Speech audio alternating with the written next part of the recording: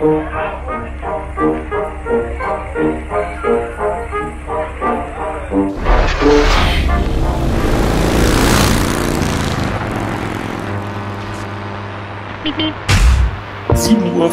Ich mache mich heute auf nach München. Dort bin ich nämlich eingeladen bei der Firma Infineon.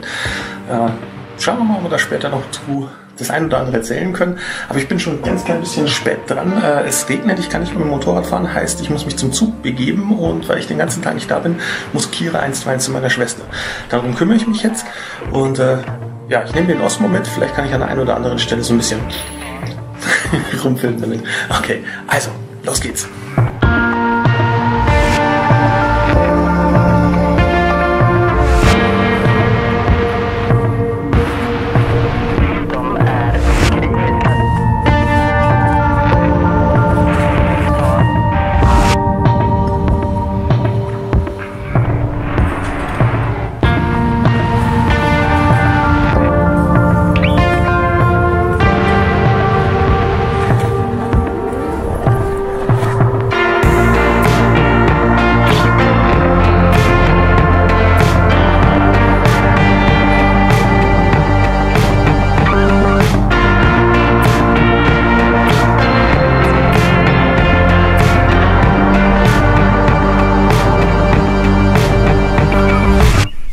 Guten Morgen. Äh, ja, war gestern äh, total super, war auch sehr erfolgreich. Aber auf dem Campus bei Infineon durfte man nirgends filmen, auch nicht außerhalb der Gebäude. Und äh, heimgekommen bin ich dann irgendwann so knapp halb sechs. Hab dann mit meiner Frau zusammen Abend gegessen und habe mich dann ins Bett verkrochen, bin eingepennt.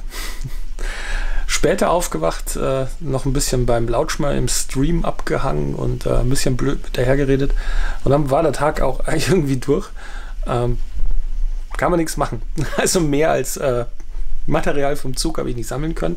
Äh, dafür mache ich mich aber jetzt gleich auf. Es ist nämlich 1. Mai und wir haben einen ganz tollen Brauch eigentlich hier bei uns in Bayern, äh, nämlich das Maibaum stehlen. Also das ist schon passiert.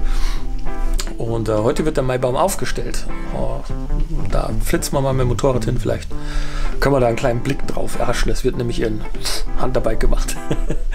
okay, so, ich dusche mich und dann geht's ab zum Motorrad. Guten Morgen, ihr Lieben. Wir haben den 1. Mai. Ähm, so ein paar Kleinigkeiten.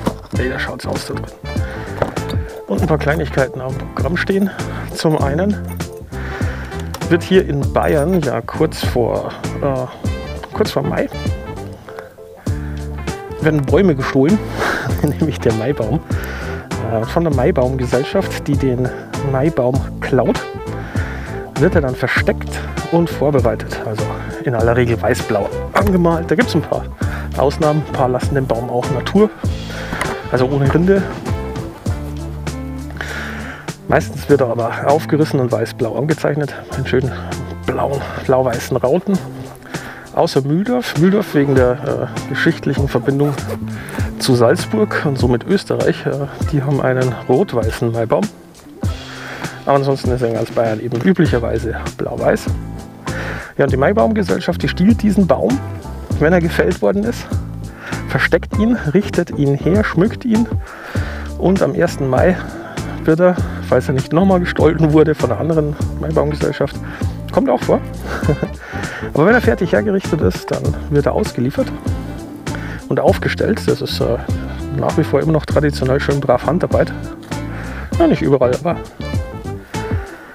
in aller Regel sollte es traditionell von Hand aufgestellt werden.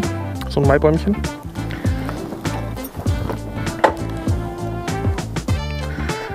So, dann machen wir das Ding noch ans Händchen dran. Friemel hier.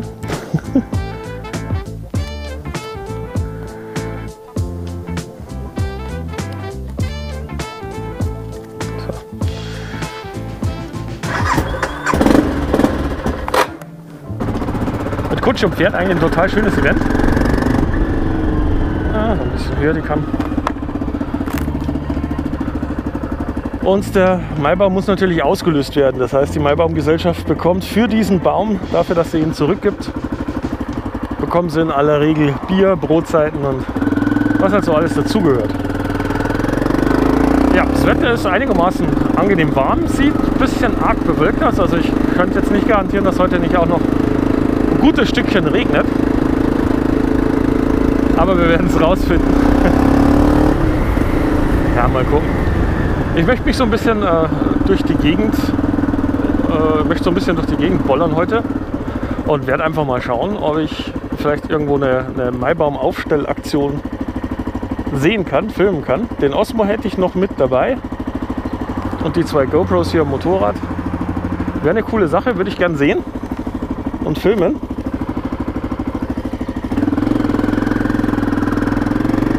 Und außerdem hat die Michaela gemeint, wir könnten heute noch grillen. Allerdings habe ich für sie kein Grillfleisch. Also noch losmarschieren. Wir kaufen äh, Fleisch hier ohnehin nicht im Supermarkt auch nicht beim Metzger, wir kaufen es beim Bauern direkt und äh, wir haben hier in der Gegend so einen Bauernhof, der hat ein 24 Stunden, 7 Tage Verkaufsräumchen, das Video überwacht wird. Und da geht man einfach rein, nimmt sich äh, Fleisch aus dem Kühlschrank raus, was man so braucht.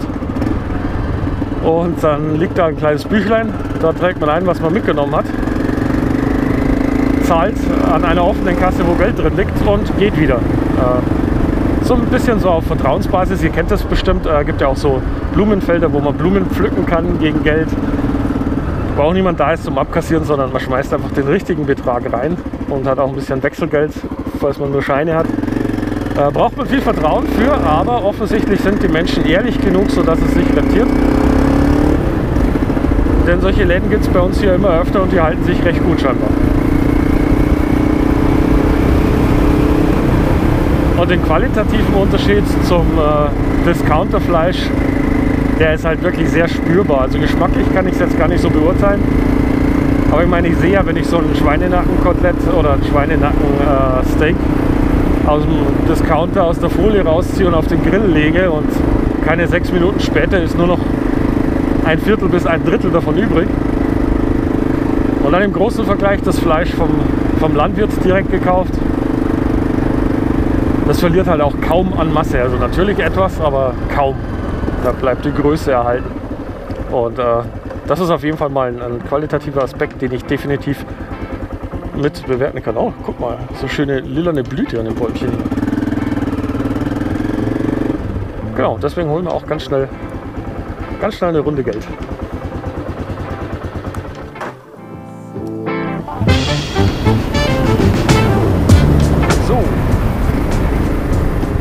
Einmal abbiegen und dann sind wir schon gleich da.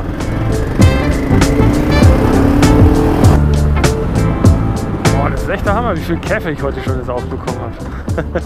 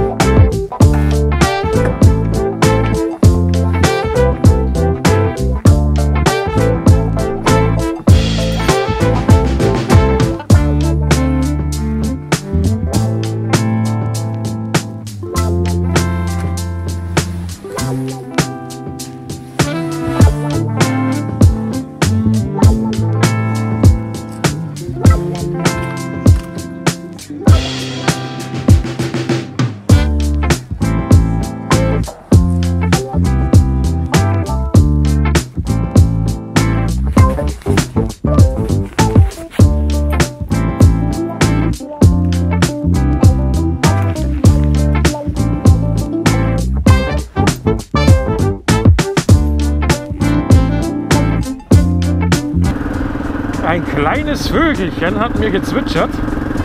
ich habe gerade eben eine kurze Pause gemacht äh, und die Michaela angefragt, weil die kennt sich da aus. Die ist selber in einem Maibaumverein. Und die hat gesagt, in Salmannskirchen ist auf jeden Fall ein gestohlener Maibaum am Aufstellen. Da fahren wir da mal schnell hin, ist gar nicht so weit weg. ist gemein, weil äh, da wo ich eben Fleisch geholt habe, äh, das war schon die Ortschaft davor. Also eine Ortschaft weiter wäre Salmanskirchen gewesen. Und ich bin aber längst schon wieder von der Richtung her in die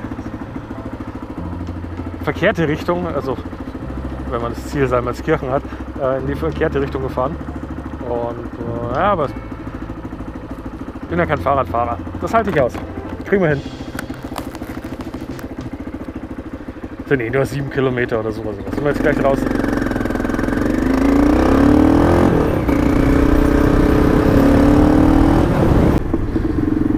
So, Salmanskirchen. Gehört zur Gemeinde Ampfing. Also noch innerhalb unseres Gemeindegebiets. Da schauen wir mal. Oder die Action heute stattfindet.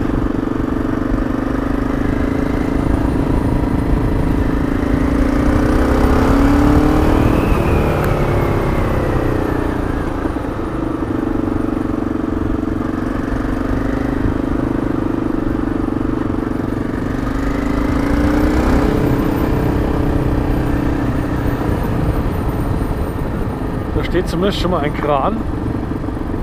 Und wo ein Kran, da ein Maibaum. Ja, ich sehe schon, der, da wird er aufgestellt.